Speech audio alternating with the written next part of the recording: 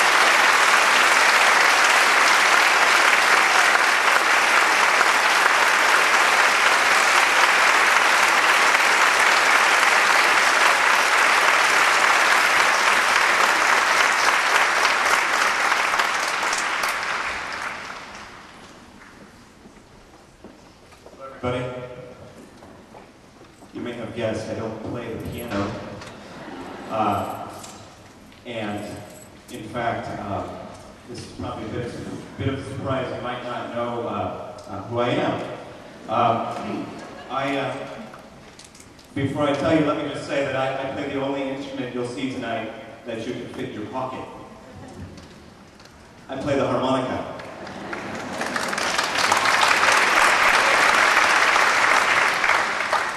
My name is Joe Powers, and I'm from Portland, down south. And uh, uh, let me let me just tell you, this is not any just any harmonica. This is a special one. This is called a chromatic. It's got a button on the end, and when I push it, uh, something explodes somewhere. No, this when I when I blow and draw, I get the white notes from the piano. When I push the button in, I get the black notes.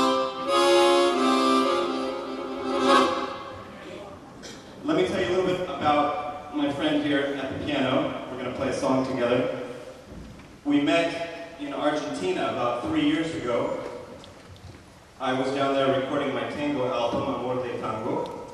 And since then, we've performed in three continents together. We're going to make it a fourth this summer when we play in Paris.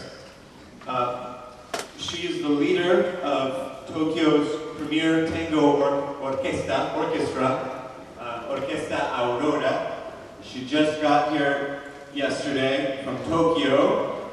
Please join me in giving a warm welcome to Naoko.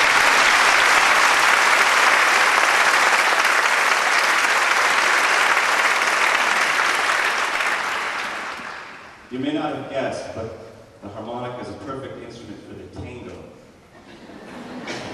Yeah, I'm not joking. And we're going to play a tango piece right now. Actually, special kind of tango. A little happier than, than your average tango, a little faster. It's called milonga, and this is called nocturna.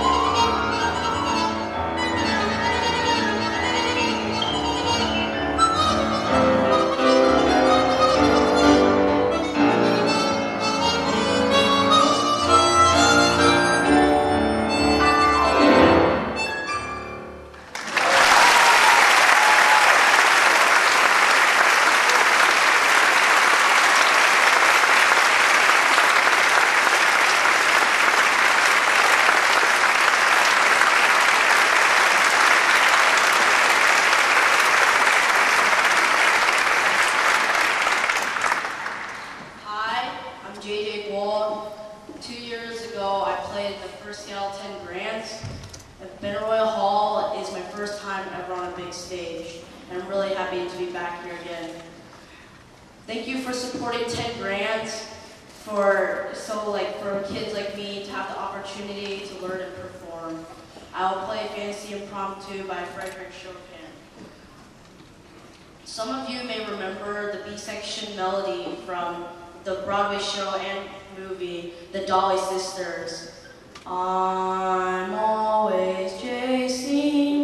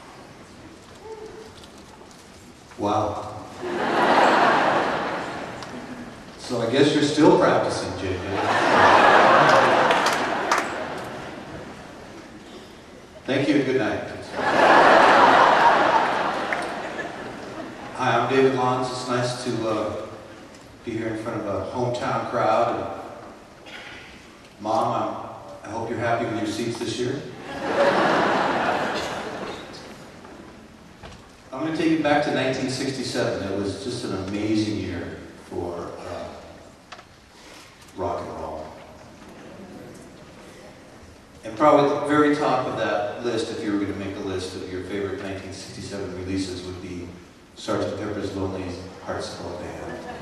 Let's hear it for the Beatles. Come on now.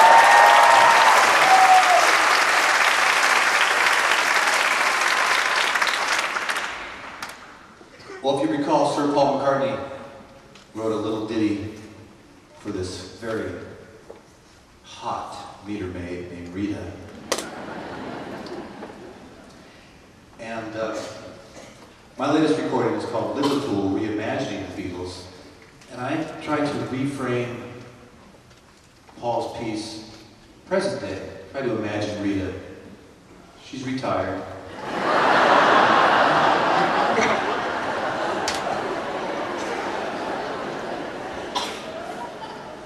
Not so hot. She's cooled down.